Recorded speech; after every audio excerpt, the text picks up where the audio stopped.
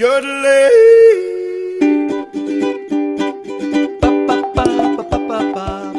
기운 내세요. 이 막연했던 응원을 삼양은 현실로 바꿉니다. 꽃다발 대신 신기술 의약품으로 축하합니다. 삼양이 당신과 이야기하는 방법입니다.